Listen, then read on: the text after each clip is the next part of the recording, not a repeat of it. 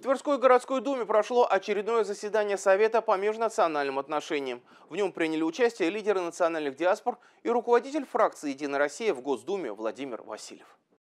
Ключевой темой этой встречи стало заседание Совета по межнациональным отношениям при президенте Российской Федерации. Постоянный участник Совета Владимир Васильев, который возглавляет Ассамблею народов России, рассказал лидерам тверских диаспор об основных темах, которые были затронуты на совещании. Президент отметил, что Запад опасен сегодня не только военной агрессией, поддержкой неонацистского украинского режима, но и атаками на нашу историю, культуру, духовность и ценности попытками бить клин согласия народов нашей страны.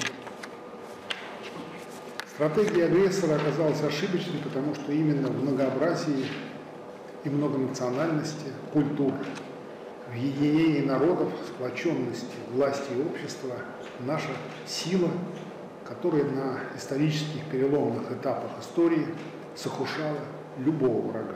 Среди других тем участники Совета обсудили меры профилактики распространения и употребления наркотических препаратов в молодежной среде и социальной ответственности общества.